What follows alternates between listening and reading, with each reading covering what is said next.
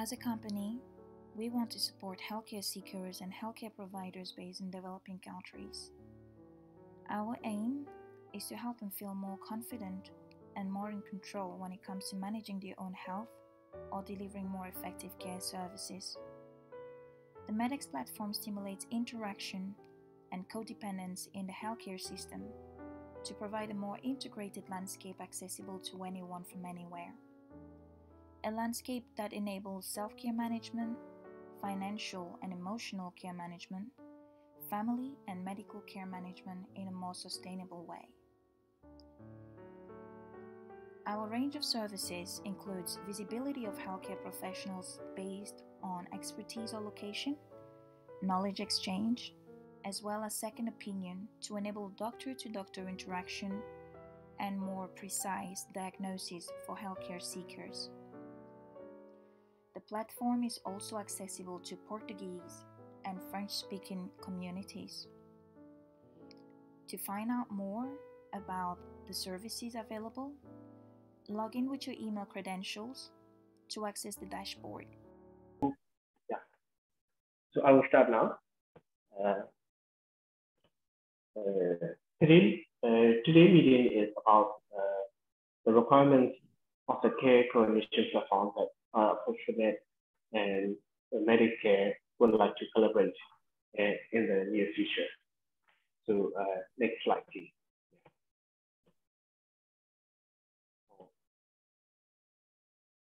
So let me uh, let me share about our company and our work. Yeah, it's like uh, back in 2021, uh, we started the Genesis Bell Network uh, with two founded hospitals. Uh, back then, we only do uh, the open source software, which would help the hospitals in their daily work.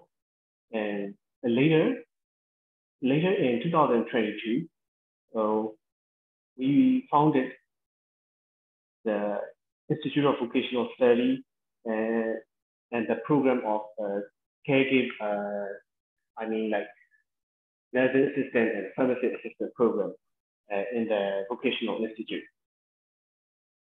And later in the year, uh, we partner with uh, Zero Care, uh, which is uh, uh, owned by Dr. Shaw. Uh, and then we collaborate together and started uh, registered Med. And then we decided to start a, a home care coordination program. So uh, on launching it, and in the February of this year, uh, we visited uh, nine schools and then uh, explain them about uh, the, our care coordination platform and, and our program. And they show interest and they would like to collaborate with us in doing the care coordination event. And in doing so, uh, we also, uh, on the other hand, uh, we are also recruiting the healthcare providers on the other side. It's like uh, just as shown in the figure, there are uh, more than 40 providers joining us to uh, collaborate in the event. And uh, as you can see, uh, at the end of March, uh, we have created, we have organized and orchestrated nine events in two of the nine schools and, and also 13 of the 40 providers have collaborated in those events. And we, uh, next slide. Uh, and, and yeah, to, uh, to, the, yeah. yeah, to add on sure. uh, what uh, uh, Dr. Yeah. John is saying, right? from the ecosystem standpoint, we have Genesis Network acting as a accelerator program.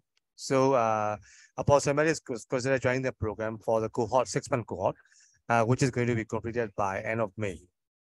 So we have a demo day by then, and then we also have some kind of sort of uh, uh, event where we have we're inviting all the sports, nutrition, other stakeholders to create some kind of sort of uh, uh, bigger events, which attracts more participants in the ecosystem, I guess. Maybe maybe a quick question there, uh, Dr. John. Can you go back, please? Uh, on, do you expect us during for that demo event that uh, um, uh, Zikawa, the Wakake, sorry, uh, can already demo something and pilot something, you know, around this project during your demo day, or there's no expectation there for me? Just for me to understand. Okay, uh, technically speaking, right, uh, if we could share the audience the plan, right, this is where, because you see, at the same time, uh, when uh, we are uh, incubating and accelerating this uh, Med, uh, I am reaching out to different investors. Right? And the one of investors is like showing some level of interest to invest in uh, this uh, Med. So by during the demo day, right, it is more about uh, showcasing the plan. So we need mm -hmm. just sort of okay, this is what we are building, and then okay. this is uh, these are projections, and then this is how we are going to venture out into South Asia because the plan is to reach out into, into Thailand as well because Thailand has 12 million Burmese people. And then uh, eventually, right, there are a lot of schools in Thailand where they all speak Burmese, right? So that's why uh, we are leveraging on this like sort of a 12 million Burmese uh, uh, expat market in uh, Thailand. And then yeah. also at the same time, we are also looking into uh, sort of a Nepal as well, right? So that's that's uh, and uh, Pakistan. So that's why I think uh, so a short answer is like we don't have particular expectation from you, but it would be good if we could collaborate and then showcase something for the people. Okay, that's good to know.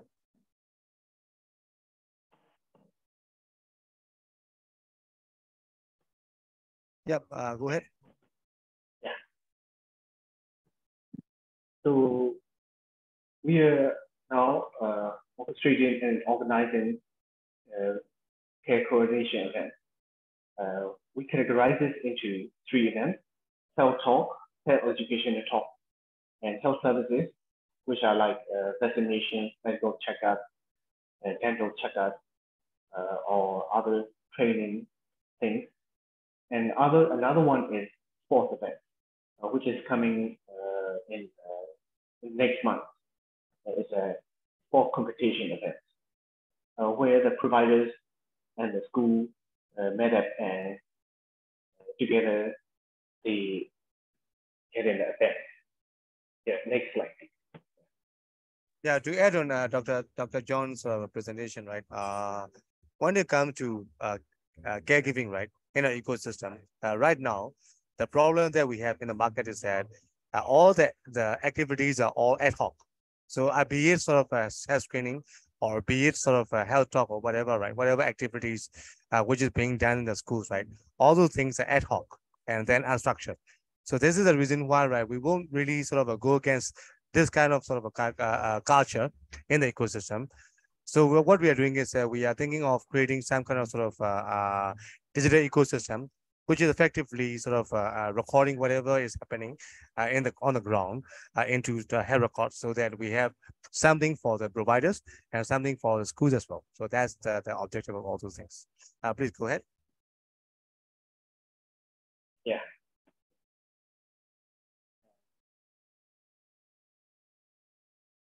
So this is what's happening right now uh, with the names in it. Hospitals the healthcare providers, and uh, on the other hand, the schools and students. So, so I do have a question here. So for me, this is the key stakeholder overview of the project we want to run. Do we have during this meeting one or two or more people part of those 12 hospitals and clinics and do we have one or two people during this meeting representing the 16 students or the care coordinators? Yeah. Okay. Yeah, uh, for that, right, so, uh, uh, I think there will be another slides uh, explaining about this. Uh, so we okay. just move on to the next next uh, step. Sure. Yeah. So these are the events that have been organized in school next please. Uh, this is the current uh, digital record that has been recorded uh, in one of the events. Next slide, please. Yeah, this one is uh, we recorded manually on a paper. Next slide.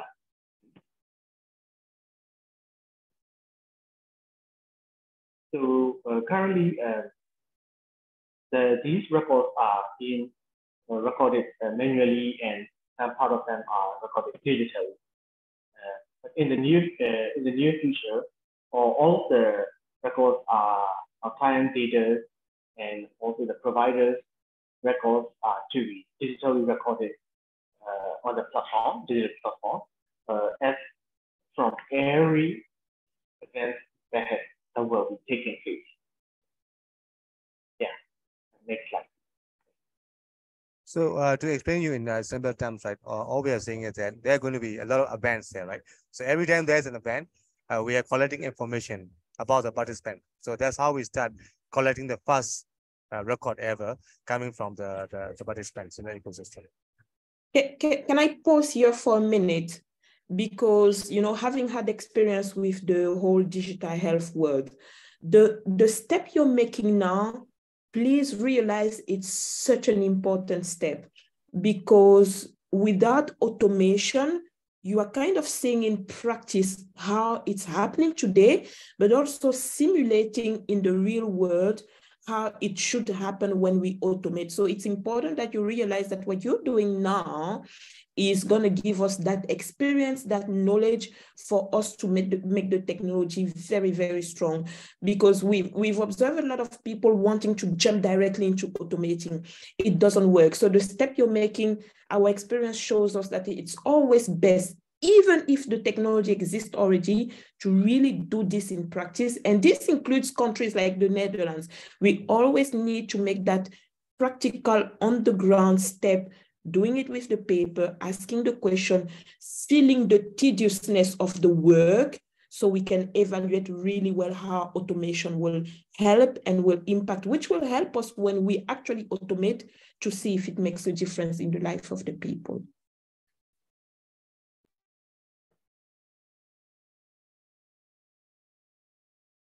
We'll skip these slides because these are all the details, right? So uh, uh, they yeah. won't add any value to this discussion. So we'll get to the next slide. You can explain that summary here. Yeah. So it's the maximum capacity of the event. Uh, so it depends on the e-school uh, there's a for health talk event, uh, there's a minimum capacity of 50 participants which can attend the event and at most at 100. Uh, this is by request from the providers, so uh, so that they could focus on the, uh, clients or the participants, uh, the students in this case. And for health services, it's like uh, things like a vaccination or medical checkup. So we, uh, as per the previous events that have take, taken place, uh, each doctor took about uh, 8 to 10 minutes to examine a student. So they uh, want a team of or four to five doctors come to uh, school for that kind of event. Uh, this is the minimal and maximum capacity that they could deliver uh, a day. And another one is sport event. Uh, is, is sport event is uh, just as the same as the other sports events that we have seen. Uh, on the day of the event, uh, the participants or the contestants comes in, comes in and they participate in the particular sport and that's it. Yeah.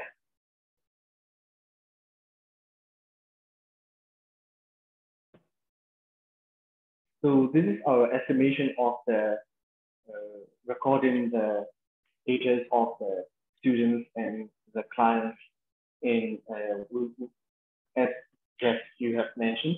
Uh, we'll be trying to, oh, we have recorded some 154 to uh, 400 students data digitally. And in the coming upcoming events, or we'll be trying to record those uh, users, uh, participants, uh, which I've written here is the users, data, uh, their profiles, uh, just as when a person comes to a clinic, uh, they make a patient record. Yeah, it's kind of like that.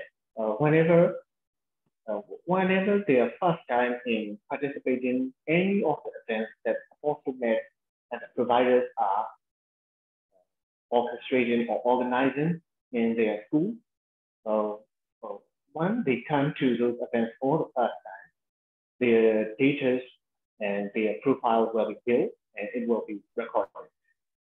And this is the number of events that uh, are uh, estimatedly calculated through uh, part two and uh, throughout this year.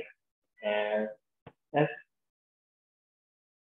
over 63 events in this year.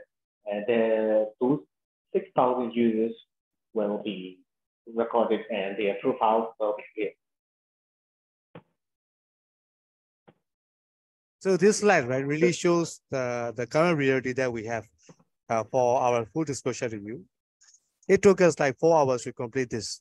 The reason is because you and I, right, we both know that on the ground, a lot of people don't really know the power of the digital systems. And Dr. John himself is very anxious, even just to come up with these quarter one, quarter two, quarter three minimum numbers, because all those things are beyond his imagination. This is my, my challenge right now, right? Because I need more. This is the reason why uh, we approach you because this kind of thing always need the guidance from more experienced sort of a like you. So right now, right, uh, this, uh, let me just give you a, a, quick overview about the starting point. The starting point, I didn't talk about digital hospital or care coordination or whatever. I talk about uh, sort of uh, having a business model where they could reach out to like 900 schools. And then after that, uh, I just told, told the, the, the, team to just approach the, the schools and start providing the services one by one physically. And then uh, I, I pushed them to think about providing the same kind of services to 90 schools. So 9 to 90 school itself is already overwhelming enough for them to do the thing, the same thing without the help of the digital sort of uh, uh, platform. So this is the reason why, right, when you see this, right, if you look at it estimate from our experience, this is very sort of a slow and this is very bare minimum. But uh, of course, this is like a serious queue and the current reality of the team that we have right now. Yes. Yeah, you you finish on? I think uh so I just want to yeah, so no no no wait not, not important. Yeah. Wait wait. I just want to give um some ideas to the team regarding what you've just highlighted. Again, you said I've I've seen other ways, and, and that's one of the things we try to bring to countries where we do implementation or do some work. And I've had the luxury to work for companies like Philips, where I run really huge programs. In general, when you are in at, at such a step, and this is more tips I'm giving you, uh, which will be required when we work together as well, is you always, when you're in estimation mode, for everybody, estimation is tough you build three scenarios. So from what I heard from Ong, this is your worst case scenario. But you, for yourself to feel comfortable, it's important that you have a normal case and an optimistic case scenario. The optimistic, you can always, of course, on the side highlight, we are optimistic in case this, this, this, this, this happens, which, you know, you highlight some of the things you believe if it goes well, this is how big and how, how fantastic we can be. And now you've highlighted the worst case, and I can imagine it doesn't make you feel comfortable because you kind of feel maybe we can do better.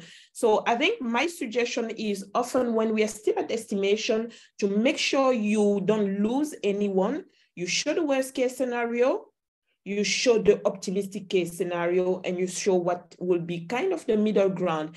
In general, whether it's investors, customer partners, they will always try to rely more on your normal case scenario, which takes into account uh, the realistic side of the story, but they will keep in mind that, hey, you've said it can go super well, which is there, but it can go also super bad. And this is what it will look like. Just wanted to share this tip, just, you know, if you face this kind of challenges in the future or when you're communicating, not having a clarity yet on how to move forward, um, that would be the way I would go if I were you.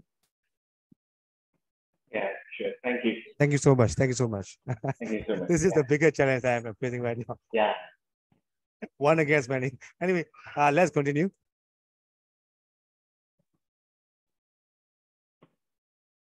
Yeah. Uh, this is the events that have taken place uh, in the previous days. Yeah. Uh, next slide, please. You want to highlight the actual data uh, on the ground so that uh, Patricia has a better understanding of what is happening on the ground? Yeah, sure. So just like uh, we started on 9th of March, uh, which is uh, Avalanche Move thing. Uh, we made a health talk event for 50 students in each in their age ranges from 6 to 11 years old. Uh, provider is Zoji Clinic. Uh, uh, she's a pediatrician and she gives a health talk about uh, personal hygiene and hand, hand washing. And on the same day, there's another cohort of the same topic, and there's another event on that day. So it's like the, there are two events on, happening on that day. And, and the next one is uh, Dr. White. Uh, Dr. White is also here in our region. Uh, she has uh, she has given the health talk about the reproductive health uh, on the same institution. Uh, it's International School Rangoon, and our uh, ages ranging from uh, 12 to 18 years, the participants. Uh, just as same as uh, Zoji Clinic, Dr. Wine also gave uh, two cohorts uh, on that day. and the next thing is uh, on on the lower corner on the left, is uh, Neji Medical Service. Uh, it's a group of doctors uh, that they have uh, they have delivered a medical checkup, which is a general medical checkup, uh, measuring the students' uh, basic health, data, health data and dental records.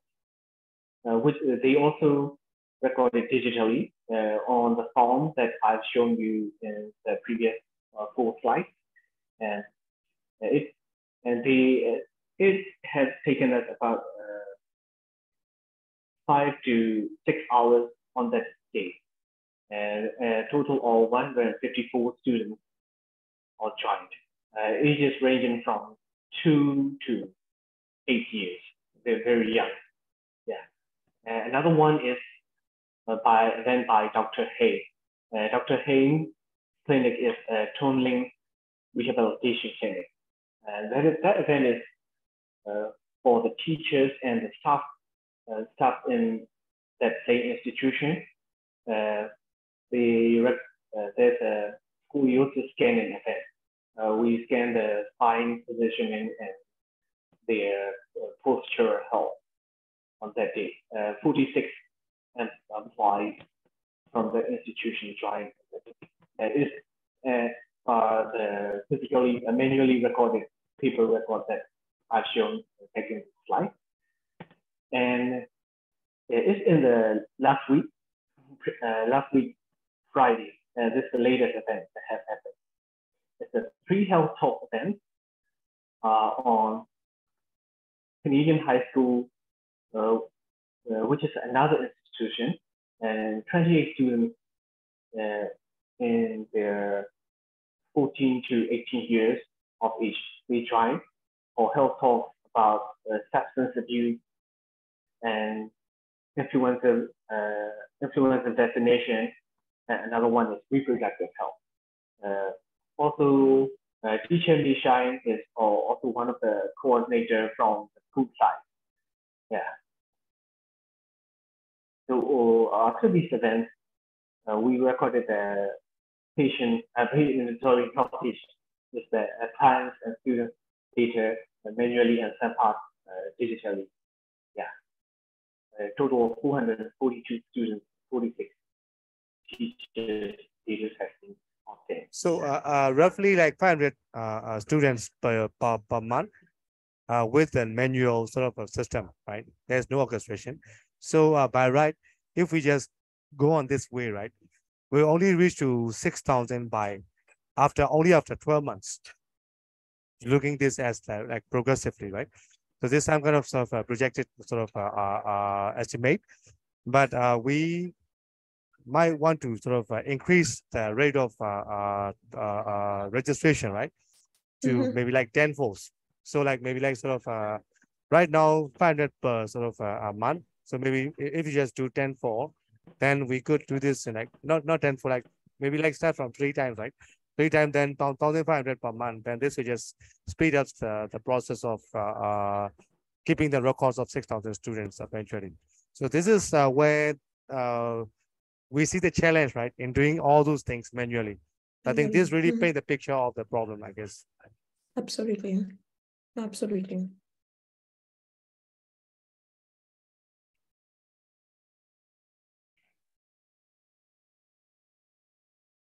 this is the yes, this uh, optimistic, uh, my optimistic uh, version of uh, user influx yeah. in the future. Yeah. Yeah.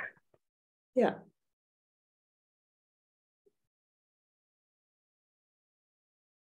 So this is also uh, uh, this is how I uh, my intention or I, I try to project it to the record. And as far current, uh, currently we are physically all orchestrating uh, the care coordination events between providers and school and manually recording the physical and mental fitness. And we give out uh, manually calculating their uh, care coordination and health status. And maybe in six months, uh, we could use uh, some kind of a digital system to uh, make those uh, providers and the school coordinators interact by themselves and the system will record those teachers and gives out the status of the, health, health uh, mental and physical health status of the students back to those who should owe, uh, back to the owner of the school pages, or who, which will be the students and the school. Yes. And in the 18 months or so, uh, there will be much lesser uh, intervention of uh, of net, and they will be uh, fully of fully interacting with each other, and other yeah. schools and other providers can trying on the platform by themselves, they could learn how to maybe the smaller, uh, smaller, I mean like the more junior health healthcare providers or maybe solo head health providers could try with their products and services onto the platform and then they could give out their health services with the standard of the, this digital systems which they could learn from that and interact with the school.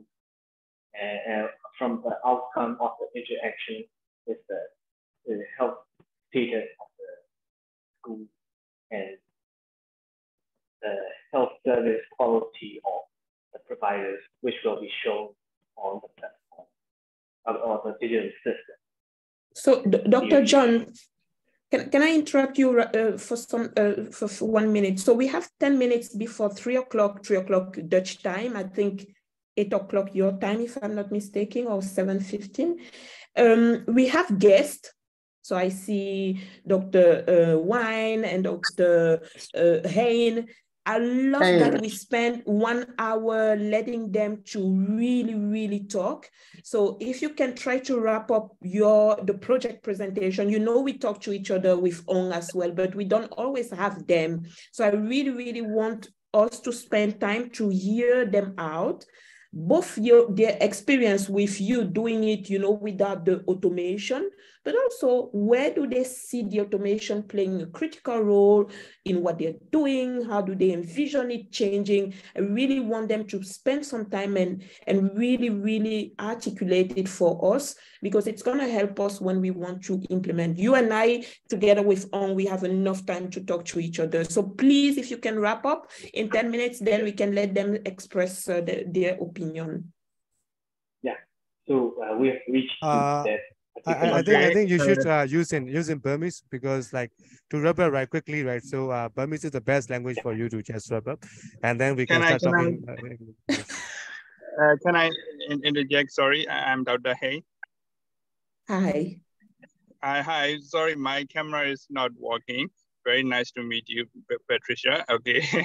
so, Pleased to meet uh, you, Doctor. Yeah, yeah. Sorry, the, yeah, my camera is not uh, working uh, for the moment. Uh, but okay. uh, I'm not uh, quite free today, so I, am just participating at this meeting. Uh, so I, I, only, you know, catch a, a few, a few, just just only a few inf information from your meeting. So uh, thank you for asking my. I think you, you are you asking my opinion about and this project, right?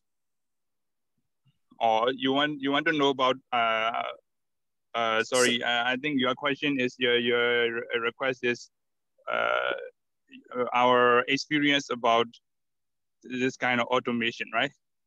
So we'll, Dr. Dr. Hain, we will get to that. I was suggesting to Dr. Dr. to Dr. John to kind of wrap up the project explanation so we can give oh, you, together with Dr. Wine and all the other guests, the time to oh, really yes. tell us, you know, if you have some time, just let Dr. John close and then we can give the floor to you guys to really, really tell us how you feel, how you view it and, and so forth. Okay? Uh, so, so uh, may I uh, say this right now because I, I'm about to go to someone oh, else. So I, sure. I'm about to Sure, sure. 10 minute, 10 minute ပဲဆရာ10 minute ပဲဆရာဆရာဆရာကျော်လေးပြီးပြောတယ်ပေါ့10 minute ပဲဆရာ10 minute ပဲ Oh sorry sorry yeah, yeah yes go on ဆရာကျော် Sorry I, I will talk after Dr. John okay Yeah sure. Uh, sorry sir So I'll wrap up now uh, the thing is that the provider ဘာလို့ပြောဘာလို့ပြောလို့ရှားမြန်မြန်ပြစ်သွားမြန်လေး Sorry Patricia I'll talk in very အဲကျတော့အခုဟာကျွန်တော်တို့ကကျတော့ဒီ hostel ဘက်ကကျတော့အခုဆရာမတို့လည်းရှိတော့အခုဒီဘက်မှာရှိရဲ့ဟိုဒီကနေရှိရဲ့နေဆရာဝန်တွေရှိရဲ့ provider site ရှိရဲ့ဒီဘက်မှာကျောင်းကဆရာမမေဆိုင်လို့ဆရာအောင်ကြီးသူကလည်းဒါကျောင်းဘက်ကပေါ့အဲ့ဒီနှစ်ဖက်ရဲ့ဒီ interaction တွေကဆိုတော့ပို့ပြီးတော့ efficient ဖြစ်လာအောင်ပို့ပြီးတော့ပြန်ဆန်လာအောင်ပြန်ဆန်လာတဲ့ဟာလည်းဒီလုပ်တဲ့ activity တွေအပိုင်းတွေကနေပြီးတော့နောက်ဆက်တွဲမှာကျွန်တော်ကနေပြီးတော့ data တွေကို record လုပ်ထားလို့ရအောင် အဲ့ဆိုပွဲတစ်ပွဲလုပ်ပြီးသွားရင်သူကကြံခဲ့တဲ့ဟာဘာကြံခဲ့လဲဆိုတော့ဘာဘာမှမကြံခဲ့ဘူးလို့ဖြစ်တယ်အခုကျွန်တော်တို့ကထားကို record လုပ်ထားဆရာတို့ချောင်းဘက်ကနေနဲ့လည်းပြန်ပြီးတော့အသုံးပြုလို့ရတဲ့ data တွေဖြစ်နေဖြစ်အောင်ဒီကျွန်တော်ကတီထောက်ဖို့လို့ဒီကိုတဲကို nation ဆိုတာကျွန်တော်အပြီးတက်လိုက်တာဒါဆရာတို့ဘက်မှာလုပ်နေနေတာဆရာ NGO ကိုလည်းသိပြီးသားပဲအခု medical check-up လုပ်တယ် vaccine ထိုးတယ်ဟောပြောပွဲတွေလုပ်တယ်အဲလုပ်တဲ့ data တွေကိုကျွန်တော်ကဒီ digitally capture လုပ်ပြီးတော့ ဒီနောက်တစ်ချက်ပေါ့ပြန်ပြီးတော့တိုင်းထွာကြည့်လို့ရတယ်။ကျောင်းနေတယ်ပြန်ပြီးကြီးပါရင်ကြားလို့ရတယ်။တွင်တစ်ခုကျွန်တော်ထုတ်ဖို့ပေါ့။ဒီစီးရင်စီယုံဒီဆရာဟင်းလူဘက်ကအနေနဲ့လည်းဒီကျောင်းတွေမှာအားတွေသွားလုပ်ထားတယ်။ဒီကျောင်းတွေကျောင်းသားတွေကတစ်ချိန်လေးနဲ့မပြီးသွားဘူးပေါ့။နောက်တစ်ချိန်လည်းလာအောင်ပေါ့။ဆရာမဝိုင်းဆိုရင်အခုဒီချိန် hobby လုပ်တယ်နောက်တစ်ချိန်လည်းကျွန်တော်ထပ်ပြီးပြောရအောင်ဖြစ်ရှိ။အဲ့မှာသူ့ရဲ့ progressively ဟာကိုသူ့ရဲ့ knowledge တွေသူ့ရဲ့ health status တွေကတိုးတက်လာတာတက်လာတာပြန်ကြည့်လို့ရတယ်ဆိုတာ digital health record ခုတောက်ဖို့လို့ကြိုးစားတာပေါ့ခုဒီ marriage care မှာ Shisha နဲ့ဒီ team ကကြတော့ဒီ record ကိုရေးရှာကိုပြန်ပြီးတော့တိဆောက်ပြီးဖို့သူကပေးမှာပေါ့ဗျာဟုတ်ဆရာရေးဝင်လေးရှိဟုတ်အဲ့ဒါပါဟုတ် that's that's my wrap up ဆရာကျွန်တော်တခါတည်းမေးလိုက်ပဲဟိုကသူကအဲ့ဒါ electronic ဟိုလာရင် medical recording လုပ်မယ်အဲ့လိုသဘောလား kind of kind of ဟုတ်တော့ဟောပါပေါ့ reporting မှာပေါ့ဟုတ်အေးဟုတ်ဟုတ်ကြအဲ့ဆိုရင်ကျွန်တော်ဟိုဟာဗာလေအတွေ့အကြုံတွေ share ပေးရမှာနဲ့ဟုတ်ဒီ Patricia uh, Patricia uh, I, I finished wrapping up Do, do, do you want to repeat the question again uh, so that Dr. Hain can answer? Dr. Hain can answer that. Yeah. Yes. So, I mean, my, my suggestion when we were, we would have presented the project was to hear both from the providers and potentially from the recipients if we have them in the call. So schools and health providers to tell us their vision I really want free format. Dr. Hain, Dr. Wine, you've done some work with Dr. John, you know, around those health education, health talk, health services, but it's not done in an automated way today. And I wanted to hear from you how do you envision it if it's automated? How would you see it running, working? So we can do it with speaking, but we had prepared a Jamboard where you could actually type it. So, but it's up to you. You can just tell us your own story, Dr. Hain, and later Dr. Wine, how you see, you know, automation playing a role in making the work you're doing more efficient, easier, maybe the possibility to reach more students. How do you envision that? And how did you experience without automation as well? Uh, yes, thank you. Uh, my understanding is automation is like uh, using a digital system to uh, uh, facilitate our head, uh, you know, healthcare process, right? So yes. I I have some limited experience with that kind of technology. So mm -hmm. in my clinic, uh, I have my own small clinic. So in in my clinic, I tested some kind of uh, medical record system using uh, this was smartphone application.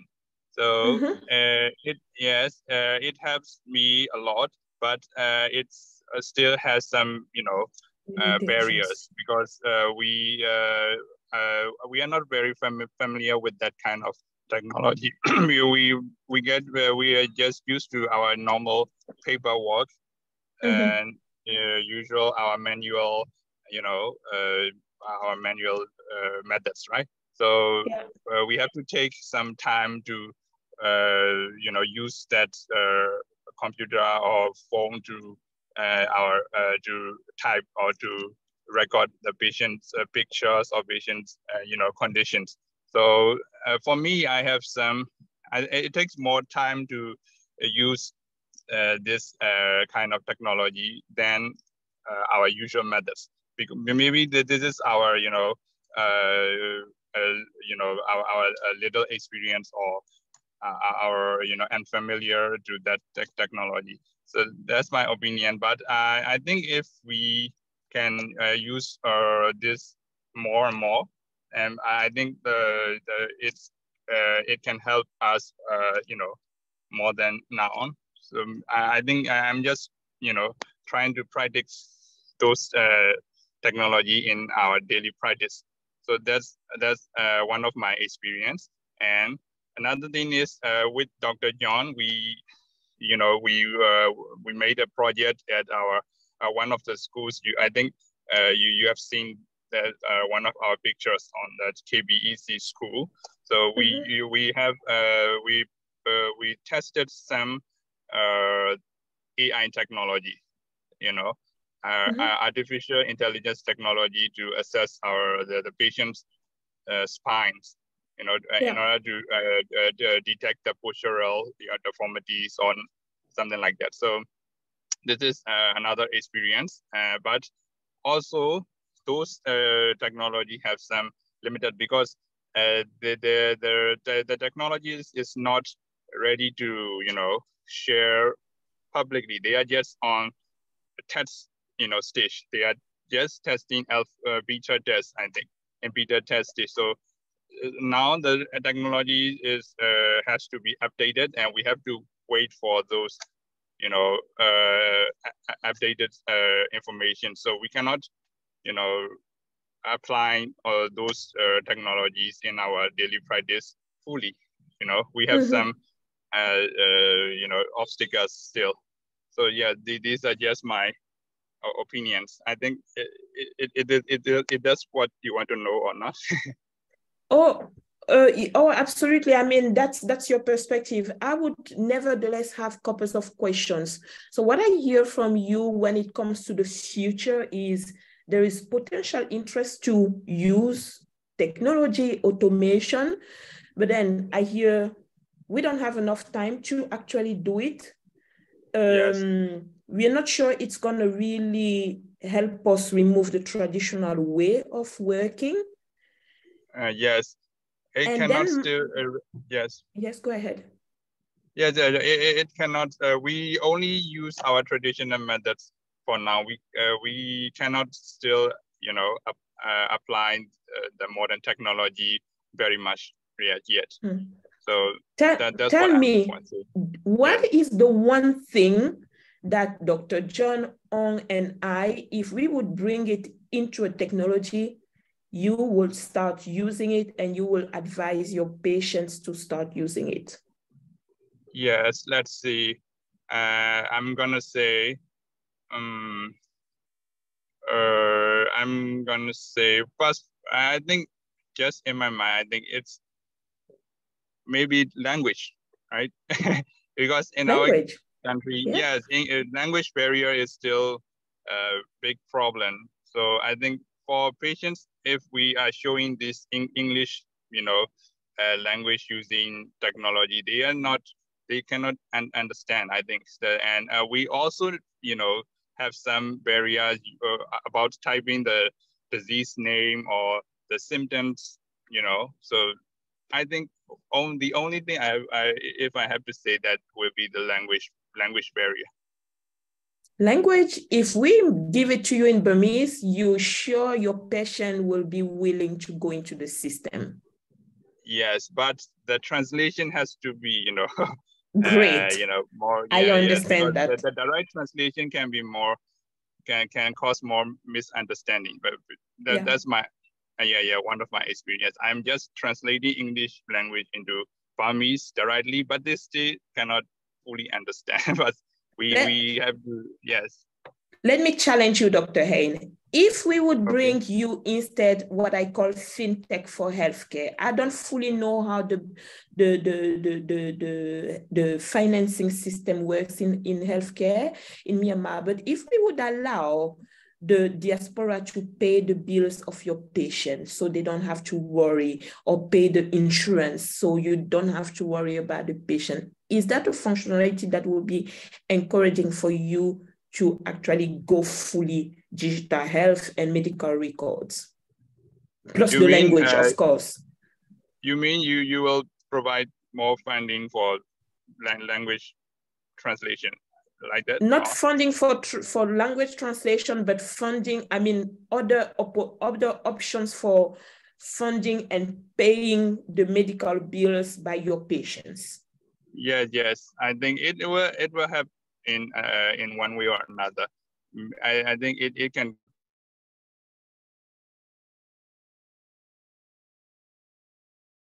it, it will it will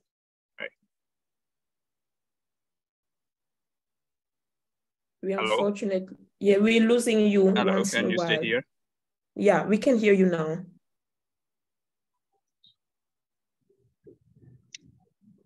Are you there? Yes. Okay. Yeah, you yeah, were you were yeah, yes. You were saying that it can help, but I still hear someone that's not fully sure. Here, look, here is what our challenge is. When we hear doubt, it tells us that our future customer partner is not sure yet. And what I'm trying to do now is figuring out from you as a hospital owner, manager, a doctor, what is that critical thing you need in order to make a step into the digital world? This is what I'm trying to look for from you. And I really, really would love, even if you don't answer now, take your time, think about it, and if you could come back to us even via email about this, this thing that if we provide it to you, of course, you mentioned the language, and I think with behind the language, there is the cultural context. Um, if we can bring that to you, you're sure that you, your hospital, and the community around your hospital will actually use the system. Hello. Uh, yes. Can you hear me? Hello. Yes, Sorry, we uh, yeah, hear you. The, the, internet connection is not very good here. So uh, I think uh, maybe uh, I have uh, I, I need to leave really really right now. So mm-hmm. uh, Thank if you want more information, I, I will text you from uh, uh, uh with uh, from Dr. John. Okay. So I, yes. I will share my uh, experience or uh, my comment about your project. Okay, I, I, will email you or something like that. Okay. Thank you so very much please, for your time. Thank you. So thank you also. Please me me and leave right now. Bye bye. Sure. Nice. Take care. Bye bye. Yeah, thank you. Thank you. Yeah. yeah. So I, I, guess we can have the same question for Dr. Wine. I, I hope you are with us and uh, uh, I can see all the work you've been doing together with Dr. John and the health talk. So I'm not sure if you are uh, here. Yeah, would love to hear your experience uh, and would love to see as well how would automation help your work, um, taking into account the cultural aspect as well and how we can do this project to facilitate your job. Yes, um, for me, you know, I've always worked with uh, uh, person to person in me in public talks uh, mostly. Uh, the point of that uh, automation comes in uh, for the first re, re, for the very first time here. So I'm very interested in uh, what we uh, how we can collaborate uh, to our works. So uh, my my uh, mostly my work is like uh, how talk is like a person to person communication. And I always uh, have to work with uh, presentations and and uh, we interact uh, with uh, like a post assessment uh, quest quiz. So it's only like that. So um, I'm really interested in that. Well, what will, will you bring bring to us now? Yeah. And is the is the health talk teaching, training platform? Is it a one-way information platform?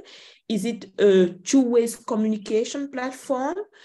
Uh, do you also use that to do consultation? Can you elaborate more on what you do during this health talk and what you want to do in the future with this health talk? Sure. Uh, currently, I'm only uh, I'm I have my private uh, Zoom classes for the uh, child, uh, adolescent health, edu health education, and mm -hmm. then the, that's uh, public health, a public uh, school talks with uh, Apostle Matt, and then uh, yes, uh, that's that's that's that's for all for the current moment. But we have uh, we have uh, plans to make like uh, the online learning uh, classes uh, for, well, for with the collaboration of the other uh, companies, such as the some uh, dating apps and, and some other uh, media media. Yes, yes, yeah. We're planning to have online uh, RH classes. Okay, and you focus on reproductive girls and reproductive health, or is it everybody, including men, uh, uh, boys? Yes, yes, yes. Both, both, both, both, both sex. Both sex and reproductive yeah. health. Okay. Yes. Yeah. Um, you don't do any consultation. It's just learning. Uh, uh, for the for the moment, I haven't done any, any consultation, uh, any any private consultations. Mm -hmm. Mm -hmm. Yeah. Okay, so this will be mainly for the health talk. And in the mm-hmm. future, if you would think, you know, using technology to do what you do today with those adolescents, how far do you feel you could go with technology? How far do you want to go with technology? Of course, I've you know I've always uh, admired that you know as that uh, uh you know uh, YouTube videos, YouTube uh video uh, vlogs from the uh, other countries and they were very interesting and you know creating like with creating with the 3d animations and kind of like cartoons images. So I'm very interested in that that that thing too. And then yes, and for the for the our for our next uh plans on the directing the making some vlogs with uh, any other media media companies. Uh, yeah, oh, I I think that's uh you know that technology will help us very advanced. Yeah. Mm-hmm. And you you give those learnings in Burmese at the moment, not in English, I yeah. guess. Yeah, uh, actually, I, I I told I, I told them in both languages, both, both. some okay. yes, in some languages, because you know some private uh some kids from this uh private schools profile in English. mm-hmm, mm-hmm. Yeah. And then my question will be: Is it a mandatory health uh, talk they need to have with you, or is it free format? Or it depends from school to school. And if it's mandatory, do they need to take a kind of a test or exam after they've you've given the talk just to check if they remember it and if they kept sure. it so is there close the loop from the student to check if what you've given as you know lessons and tips if they remember it Yes, yes, I, I, I, I do, I do. I do some uh, post postdoc assessments. Okay, okay, with the the adolescents and students, and uh, uh, and this happens during the class or few weeks after your your teachings. Oh, just immediately after the class. Uh, I mean, uh, for the for the talks, uh, for the health talks in uh, private schools, I mm -hmm. we we give the that uh, post uh, post talk assessment and mm -hmm. then some uh, like a uh, like kind of a review for on that uh, and review and comment for on that that uh event. Mm -hmm. Yeah. Yes. And, and, how do you feel about there is something that you know it's pretty common. I I think more in the the the the EU I see that a lot. We call it peer to peer education which yes. will be you giving the class, yes, which is important, but also creating a platform for the kids to share with each other yeah. about that topic and what they've learned, what they've seen, what they've mm-hmm. heard, mistakes that were made. Is this something you feel there is an opportunity to open a door for um, in such a project, but also among your students or your, your adolescent, your kids? Sure, sure. It will be a very great, great idea. Okay. Okay. Yeah. So peer-to-peer education is interesting to explore. Okay. Uh, mostly uh, these uh, these kids uh, nowadays uh, you know they have uh, they have known a lot they have known a lot compared to the, that ages in our ages so mm-hmm. uh, you know like uh, they they already know some uh, most of the facts but uh, it's not correct and maybe it's not very completed so we have mm-hmm. to share much more information, much more systemic uh, and academic information to them.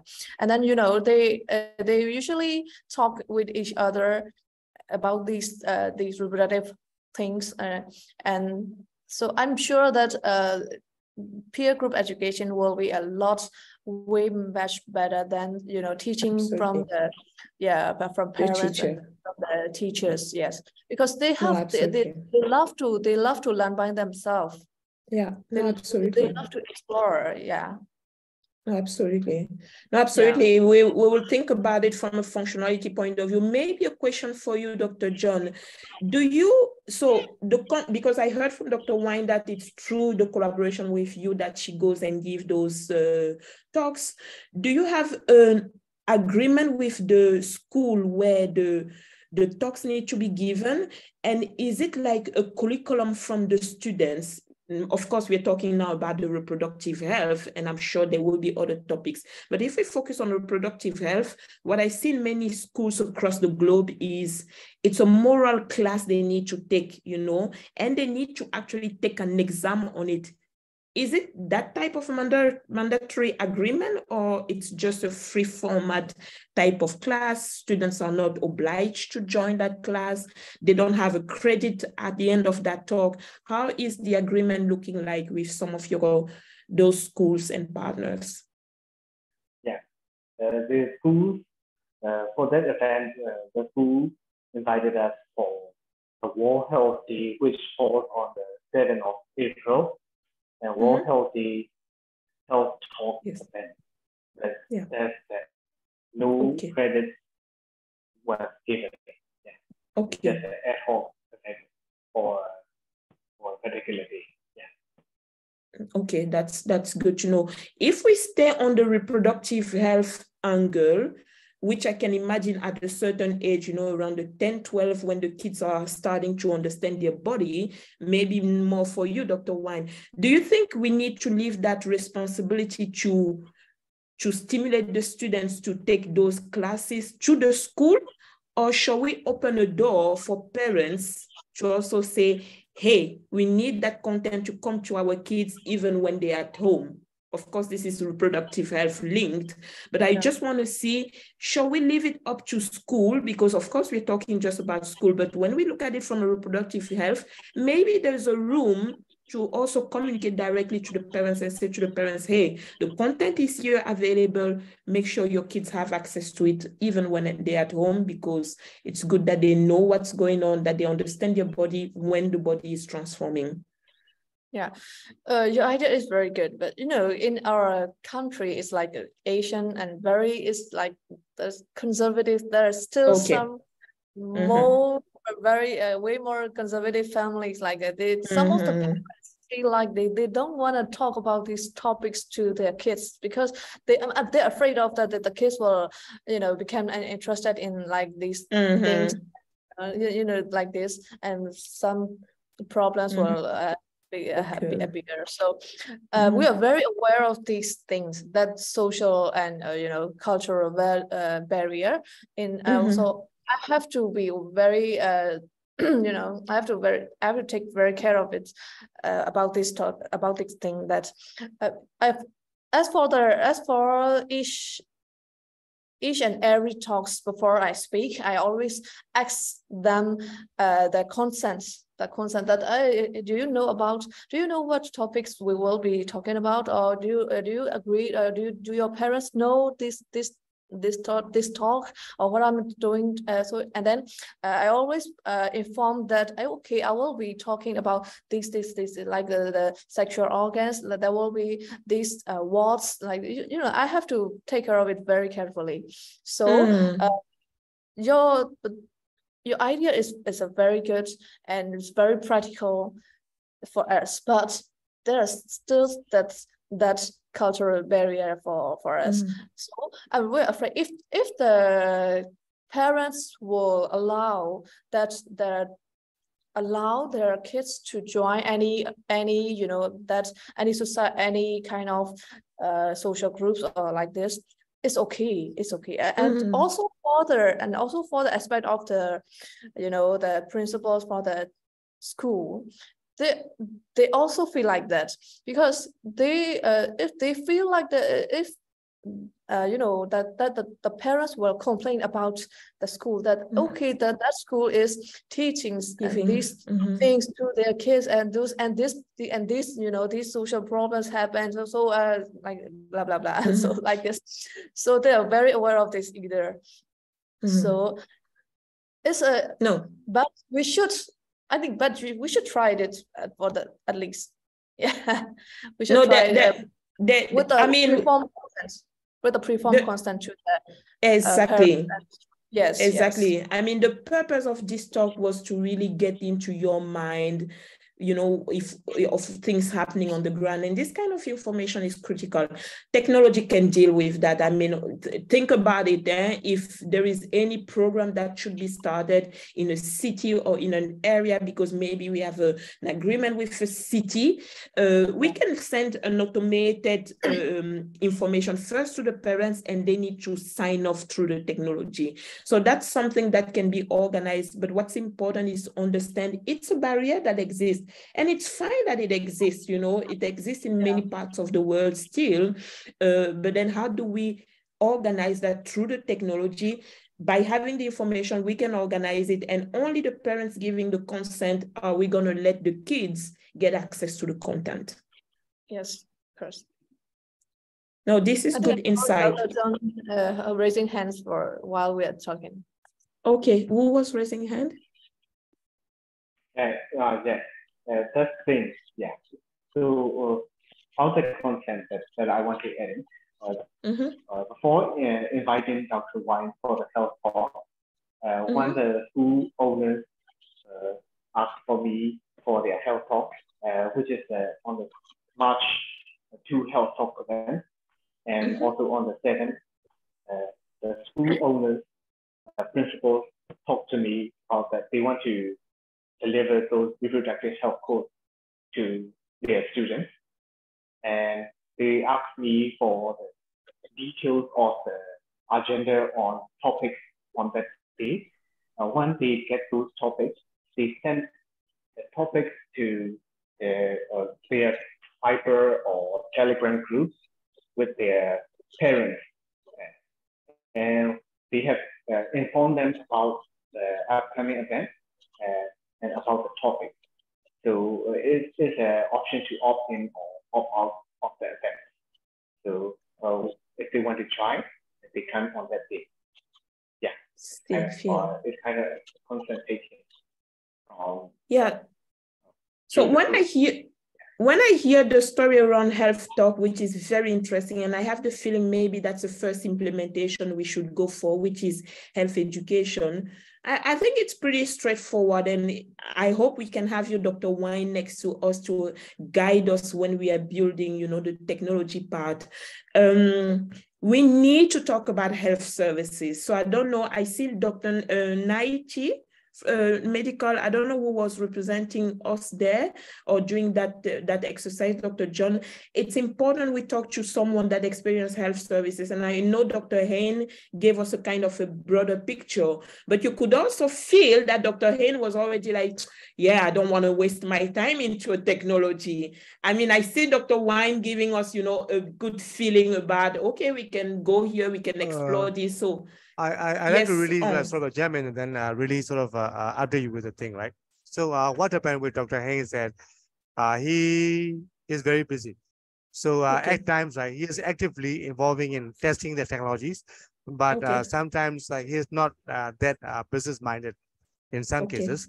So what happened in the past is that we brought in one technology provider from Germany, uh, where they provide the AI okay. Uh, where they take pictures of the, the, the people. Yeah. And then yeah. Uh, they have some kind of sort of uh, posture correction sort of system. So yeah. he has experience of testing that technology in the uh, school. Uh, yeah. And that was like some kind of like a special interesting.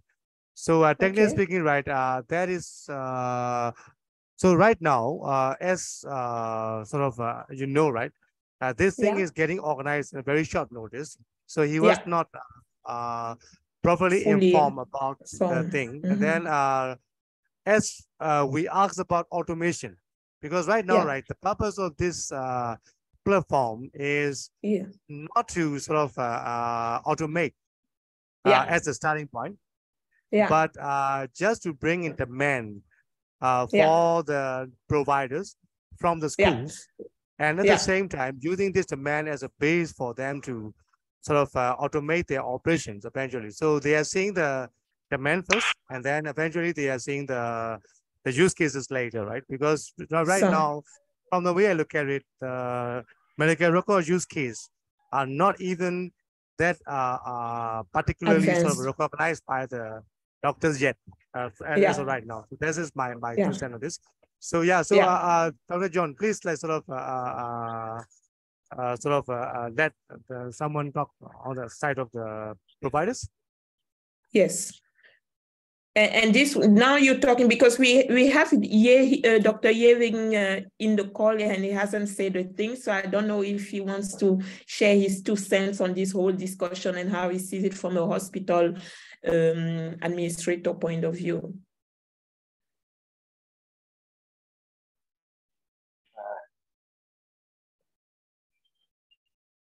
Hello, Dr. Ye? Hey, hi, Patricia. yeah, yeah. Remember hi. me? Hi, hi, hi, hi. Hi. So tell us, tell us. Hey, well, can, can you excuse us uh, because me and Dr. John have to go, uh, yes, from, from where we are right now because okay. Uh, oh, you need to move. That, that, yes, yes, yeah, yeah. We need to move because generator is uh, need to stop. Yes. Yeah, no problem. So uh, can you excuse us for yeah, like five minutes? Sure. We will. Sure. Yeah, well, we will. Sure. We will join shortly uh, after that. Yeah. Sorry, sure. Sorry. No problem. So we have also another on. Do I pronounce it well? On Pew? Pew? Pew? Uh, Dr. On Pew, yes. Yeah. Uh, yeah, he is uh, right now working in a, uh, a school. Mm -hmm. it's called KBC Group of Companies. Uh, they are oh, all together 20. I love to hear the school. I love to yeah. hear the school experience. So, so he is a teacher himself, and then he is also like some kind of like acting care coordinator in the schools of like 22 oh, sort lovely. of building. So please. Hello, Patricia. Can you hear me? Yes, we can hear you. Oh, thank you. I am Dr. Ong from Indonesian KBDC International School. And also I serve as a medical coordinator and also as a biology teacher, a subject teacher for the biology. So at my school, I have to take care of uh, all of my students, uh, like uh, started from the primary level to the uh, secondary level. And I have to take care of both both of the school in Seven Mile and also the from technology. Uh, and so at school, uh, firstly, I have to check up all the medical all their medical form. And when we open the school, we give them the, our school medical form, and we have we ask them to fill uh, by their parents. And after that, uh, I have to check up uh, the primary level students, uh, like the normal medical checkup, and also uh, their dental care. I have to take care of both of them. And also, when, when they sick, uh, they have to show me at my clinic. Uh, we have school, we have opened our school clinic, so I have to take care of all medical emergency or surgical emergency students. Uh, Sometimes I have to face, uh, I faced some uh, a big accident, like happening inside the classroom. Uh, the student uh, like uh, they run around and overlap each other. So uh, at the time, the lowermost one student, there his both in the right, uh, maybe sorry, and in the left hand has broken because of that accident. So I have to take care of that, and I have to refer to this hospital properly, and uh, also I have to explain that condition to their parents. Uh, it is the biggest accident in our school. And there are also uh, some other like minor trauma, uh, like operation and maybe minor suture at the, at the school. Okay, I think the process is very clear, uh, Dr. On. The medical form, is it done when they join the school? Is it done every year when they start school or is it done monthly? And is it filled in by the uh, parents monthly? No, uh, it's done by a year. And at the end of the year, and when uh-huh. another year started, you have to fill up the form again. Uh, so okay. at the time of registration, I, uh, I ordered them to give the medical form to every student uh, when they mm-hmm. apply, uh, newly apply. And for the old students, uh, I asked them uh, to ask their parents that if there if there's any other changes uh, concerned with the medical form, uh, maybe something like a surgical procedure or something like a medical allergy, uh, drug allergy or something like that. So I have to ask every student about that information because at, at the time of uh, maybe uh, acute condition, I don't have to, I, I don't have time to ask them uh, if there is any allergy or something like that.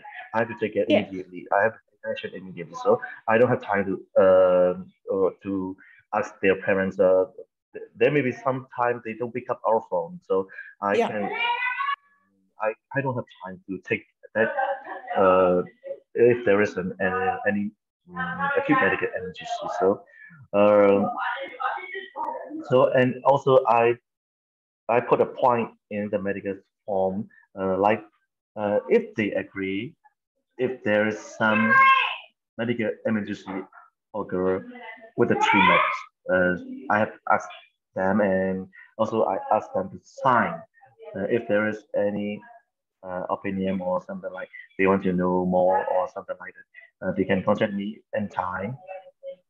Uh, I put all this information in the medical form. Okay, so so I do have copies of question, uh, Dr. On how do you see your role within the school? Are you the doctor of the school? Are you much more keeping an eye on the kids to, and and this way you know the kids that are at risk to need emergency services because they have chronic illness? Or do you see yourself as you know treating them if something happens? And for that you need their history with you. So if something happens you can make the first you know the first uh, emergency uh, treatment. Mm. can you ask me again? I didn't clear i didn't hardly clear so on that may, maybe you can explain it in, in Burmese. I don't know only if you can help me because I think then it will make it easier. So it's much more to okay. see what is you, you your actual because, uh, it was noisy there, so I, so that's why I think he, okay. he, he can understand English, but uh, will you repeat okay. the question? So Dr. Ong, the idea for me is to understand you are a doctor, but you sit in a school. Yes. Do you see yourself yes. as an actual doctor within the school, or do you see yourself as someone keeping an eye on the healthcare situation of the school? So this way, in the beginning of the year, you gather the intelligence about that for school so that you can anticipate who are the clinical ill patients? So who are the patients that have a severe disease? So you need to really keep a close eye to those kids and the ones that don't have a clinic, a chronic uh, illness, that you just say, okay, maybe they need care sometimes, uh, and we don't really need to keep a close eye. What is your actual role? Is it to be the doctor for the kids, or is it to kind of be a population health manager of the school? Mm, I think it is both of them. Because as a doctor, I have to take care every student's medical problem, uh, something like uh, some minor sickness or something like that. And also, I'm also uh, on the on, my my my my opinion is I want I uh I want to both of them. So the first one is I'm a doctor and I have to take care of their medical sickness or maybe some minor surgical problems. Uh, so uh, I prepare all of them in my school clinics. So I consider myself as a counselor because of that. And also, mm. uh, I have to take care of every student's uh, the, their medical problem. And some, I'm also a head of uh, discipline department. So I have to take care of every student's uh, concerned with the discipline and medical problems. So uh, I think it is all of them for your answer. Mm-hmm. Yeah, thanks, thanks as well. Thanks very much for clarifying. Is your role available in every school uh, in Myanmar. So every school has such a role, or is it only dedicated to some private school? Public school also has it, just for me to understand if this is the same structure in every school. Uh, I think it is, uh, I think also the private school or public school, they are now integrated school clinic is involved in every school when they started to open. So okay. uh, I think it is uh, involved in both private or uh, private and public school. Okay. Yeah, no, so as for the second, second question, as for the mm -hmm. second question, uh, as a chronic disease, their parents just notify me about their, their illness.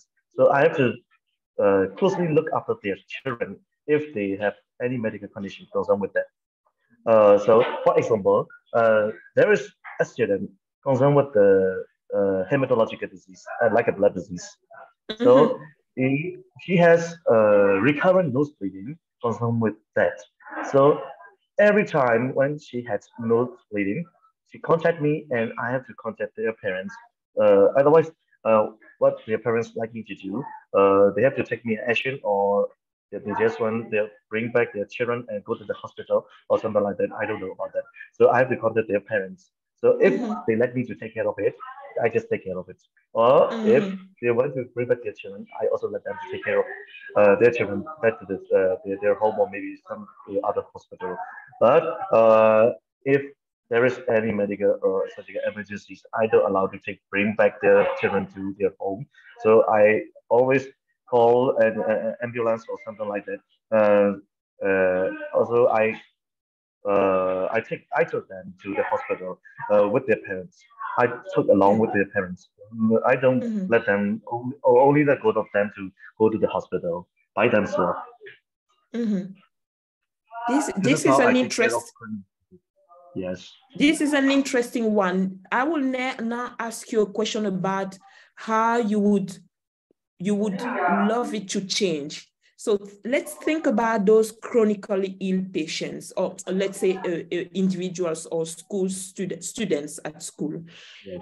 Would you, in your role, love it if you could see every time these students need to go to the hospital or has gone to the hospital, that you get a picture of what happened, the diagnosis. So when you're keeping an eye on her at on her or him at school, you kind of also again can anticipate. And can you see that?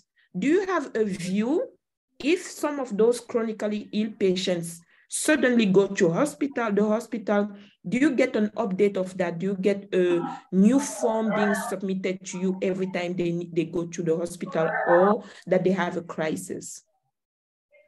Oh, also, I, I prepare some uh, medical record. Uh, like when they visit to my clinic, I have record all of their medical disease in the in, the, in that record. So every time uh, when I need to refer to the hospital, I also always I give them a referral letter uh, to their parents, or maybe I took along with me, and mm. or maybe I took uh, uh, even me I go going along with them.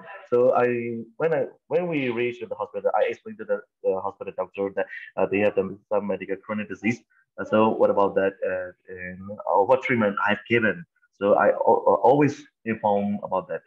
Uh, mm-hmm. Also, I've give the, the medical record along with them if I couldn't go uh, get along with them. Mm-hmm. Okay, I mean, on my side, I think it's very clear everything from a functionality from today's situation point of view, but also what we can offer. I see Dr. Kier. I, I hope I pronounce it well. Uh, I don't know if you want to say something, Dr. Kier. And I know you're running another uh, a digital health company as well. Maybe you can share experience and things. Maybe we can work together on this, uh, you know, teaming up. Yeah, now thanks. Um, uh, I'm running the Sivaka Care. Sivaka Care is uh, one of the medical website in Myanmar language. And mm. I'm the mm. owner of the Sivaka Care. And mm -hmm. uh, Sivaka Care run as a LMS, uh, learning management system, and mm. I ran uh, online courses for Royal College examination like the MRCP. Okay. so, so some I have some experience in automation on a digital platform. Mm-hmm. Now, but the main problem is uh, uh, most of our Myanmar people, Myanmar people now, now that's not cool to the website strictly. Yeah. They only they, they spend most of their time on the social media, particularly yeah. Facebook. And one of the main problems to attract people to my website, I have to post many times on, Facebook, Facebook, and then and then and direct to do my my website, website when link yeah. on the Facebook Facebook page. Yeah. the main problem is that I think for Myanmar, my, yeah. uh, I have a lot of you know, courses as mm-hmm. shared on the screen, and these are really some I, I'm trying for some automation. And if you click on one course, and you can get net, net click to subscribe yeah. yeah. And do you work with Dr. Wine on this for reproductive health? Dr. Wine, are you part of this sure. platform already? Sure. Uh, yeah. No, not yet, not yet. Not yet. Not, yet. Not yet. Not yet. Yeah. But I, I, I we, we have some plans to uh, launch here. Some plan, yeah. yeah. As uh, we can, and you can log in here and, and mm, transfer them uh, course fee to yeah. the bank account, and you can get access to this course. Now my style is like that, and but uh, the main problem is, as I previously said, most people does not go straight to my website. I have to yeah. find from Facebook, and yeah. and I also create a blog for UK Value Network, uh, mm-hmm. and uh, to join with Apostlemat. Yeah. yeah. Yes. No, absolutely. Um, that tells me, and on maybe you can help me there. Uh, do we need? Do should we work with uh, with Dr. Kai when it comes to the education piece?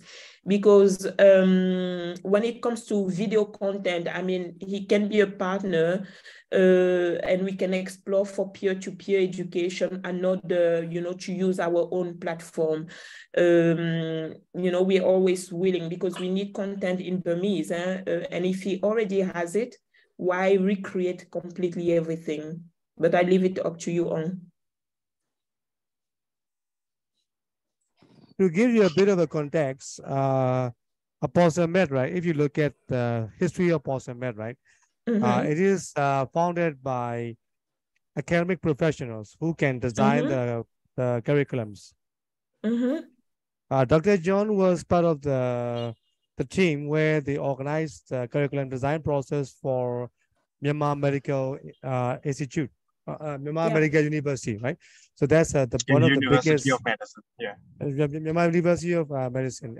so that's where all the elites are sort of uh, uh, joining, right? Because the top, mm-hmm. the, the, first, the top of the thing. So basically, this is where I think uh, Boss Ahmed is sitting. So Boss Ahmed is uh, some kind of sort of uh, uh so every time, right?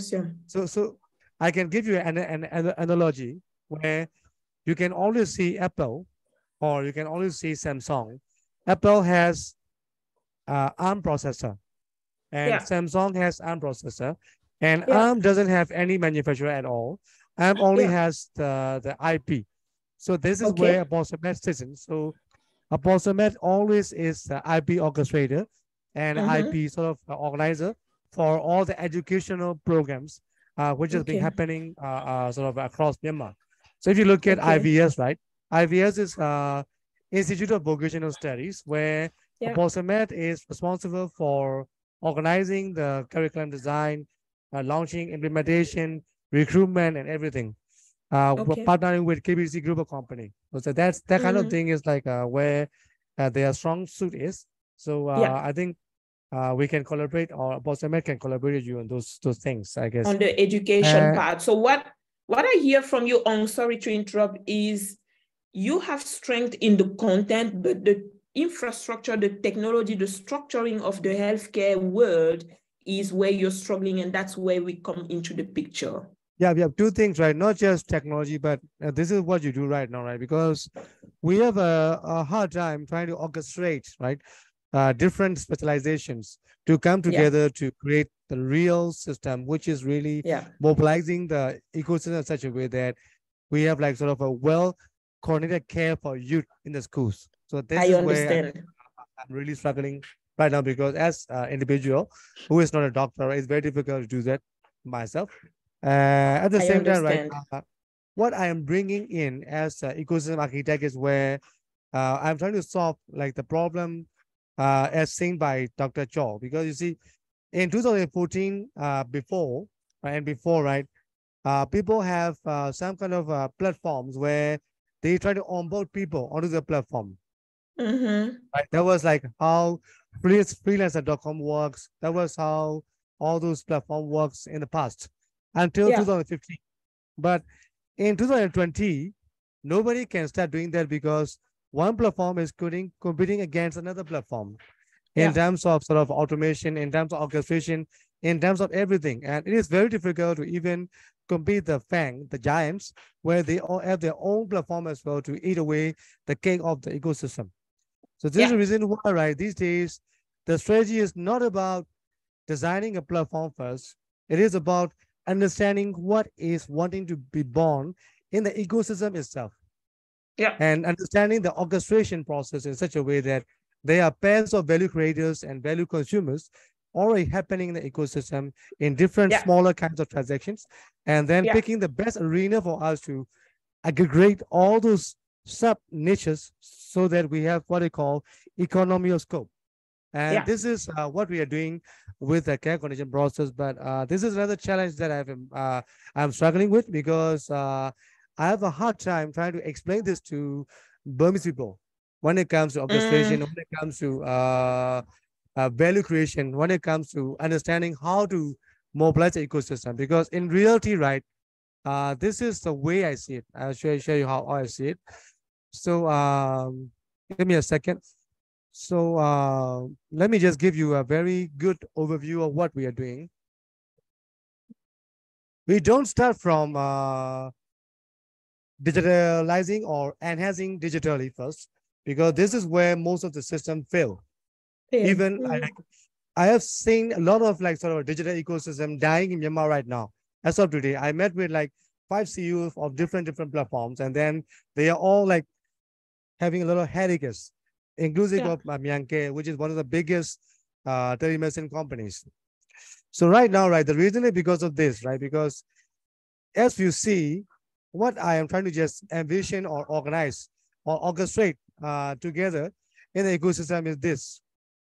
So we start from uh, the vision because uh, this is how we build, right? So we just build by uh, digitally enabled system where we just move to the digital enhancement and then we just build the platform and then we just build the ecosystem around it.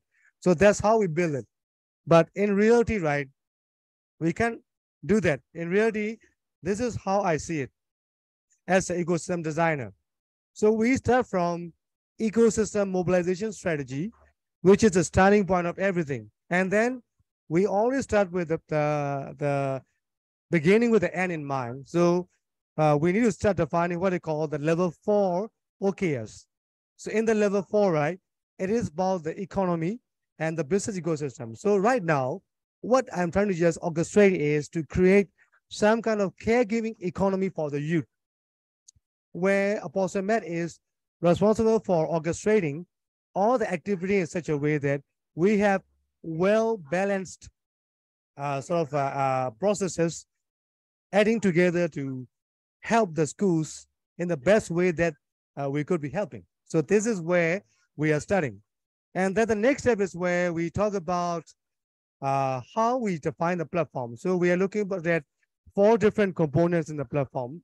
The first component, what they call peer-to-peer -peer discovery system, a marketplace of, and where which is where we just enable the niche, which is the solution provider, which are the 40 providers in the ecosystems. So these guys are having their own small little sort of uh, companies, one competing against another without really understanding that they should be working together to sort of uh, co-create the solution for the schools, right? So that's where we start doing the orchestration. So, and at the same time, uh, we have the second component where we just also think about the curriculum and the process so that all those smaller companies can really use our orchestration services in such a way that they could upgrade their performances through our learning management system and all the things. And then we have like uh, the third thing, which is like transition enabling system, which is not just payments, but all about scheduling, all about sort of uh, defining the right kind of sort of orchestration processes for different services. And then we also talk about the fourth item, which is the reputation and identity. So I'm only talking about four different systems. Let me finish first. So the last one is where we talk about the identity and reputation system where we built the coordinated report cards, which is the key orchestrator of the ecosystem. Okay. So this is the level three. And then we have level level sort of uh, two, tech enhanced. And then this is where sort of uh, you come in. You come in like level uh, uh, one, two, and three. Because this is where, and of course, at the same time, you we also talk I about. I fully understand you yeah yeah. So that's that's how we are approaching this. And of course i am not successful. I i only have like successfully worked with dr john to come up with this kind of strategy first. And then eventually uh, my plan is to orchestrate everyone in the discussion to understand where they're coming from. And then we need to just uh, create a strategy where we need to sort of convince them about the orchestration approach, all those things, because everyone is so focused in their own specialization that they don't know no. what they are co-creating. So that's the problem that we're trying to solve. Um, I fully understand what you're building and uh, the approach you want to take. I'm happy we organized this. I'm really thankful Dr. Wine opened up, Dr. Hain talked to us, and Dr. Ong as well. I strongly believe with what you just shared as your vision, Ong, and I fully concur with you looking. In reality, it's not that um, we are not successful. Healthcare technology is still very immature across the globe. Listen to me, across the globe. So we will need to be patient. That's why I encourage what you're doing now manually. Please keep doing it while the world accept fully technology because we are not there yet. So the best we can do is take small pieces. I love the vision of the caregiving economy for the youth. But you know where I'm, I'm not okay with you? Is it's coming from your mind on Remember, I'm the one that pushed you for you guys to get Dr. Wine, all those doctors around the talk, because I wanted to hear directly from them. It's not you, I, so you own and I and Dr. Kai that owning technology that should drive this agenda. No, we need to let Dr. Wine, we need to let Dr. Ain, we need to let Dr. On. Of course, we can show them the whole technology that's possible, but they have to tell us so I want us to go back to them and say, hey, we think the caregiving economy for the youth is something, and we need to let them tell us if it's true. Because they are the one on the ground today, and they are the ones knowing. And I ultimately, actually, for me, among the three doctors that were that are here, including Dr. Wine, without disrespect, disrespecting you, Dr. Wine, for me, Dr. Ong is the critical person with from whom we need to get the answer is caregiving is the caregiving economy for the youth something and if it's something do we start through dr wine meaning with health talk to trigger that that that you know uh, vision that you have on or do we start from the hospital angle you, you see all the questions I was asking about chronic illness of patients. This is where Dr. Hain can be critical. But you will see that with your vision of caregiving economy for the youth, Dr. Ong is going to be critical to tell us if there's something in there. And if there's something, what's the right angle to penetrate the market and to get to trigger that market? We can do it all. But we need to choose uh, the angle that's going to be extremely successful for us. Good, good. Uh, let me just let me jump into that uh, to give, give you the updates, right? So right now, yeah. uh, two people are missing from this discussion.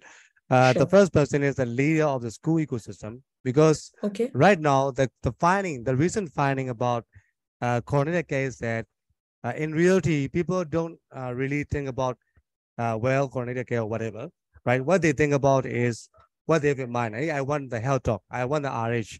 Uh, I want the sort of emergency. Or I Absolutely. want the whatever, right?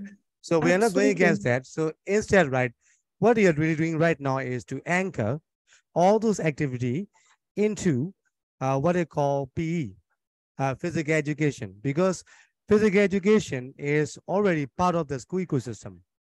Mm-hmm. And in the physical education, right, we talk about sports where it's all about breaking the Olympic record or whatever.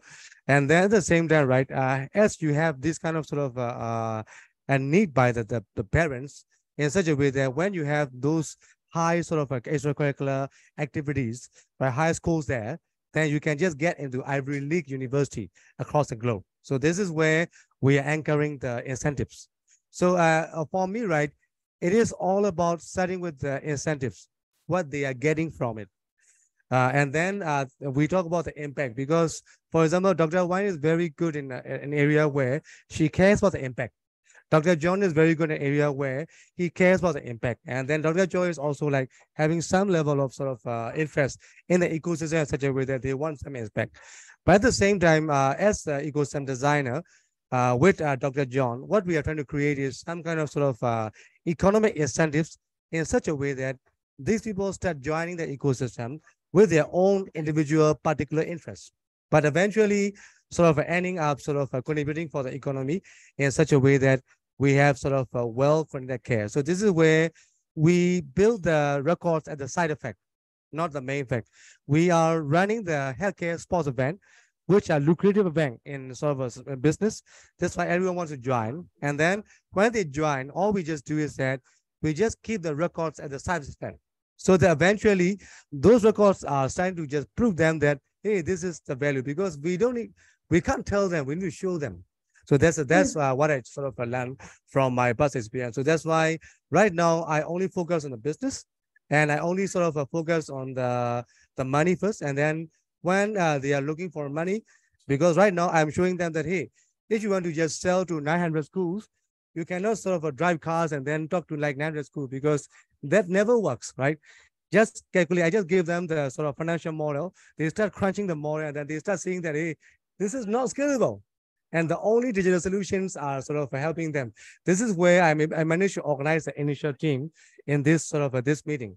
So eventually, right, uh, this is where I'm coming from. In terms of economics, I only look for ways to sort of align the incentive in such a way that we eventually attract people to create uh, sort of impact the ecosystem. So yeah, of course, this is a very complex subject, I understand. And I will be sort of uh, uh, uh dedicating my time and all my efforts to help. So one of the reasons that I bring the accurate people to you is to just let you see that uh, these are the real problem we are facing yeah, on the ground. It's it's it's serious. No, it's serious, and I'm thankful that we had brilliant people joining us. Uh, I have three minutes and I need to jump into my next meeting. So this whole discussion is recorded. We're going to make sure clean it and send uh, everybody the link because at least we also have, you know, a good record of this starting discussion. I see where you're coming from uh, on. I see where the doctors are coming from. I also understand what we want to ultimately achieve.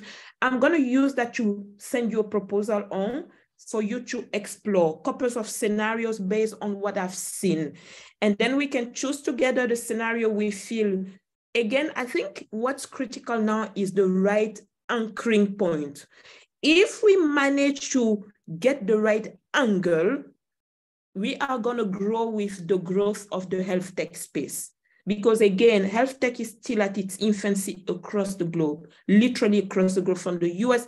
In the Netherlands, my doctor only recently created a website. So across the globe, healthcare and technology, it's still very, very young.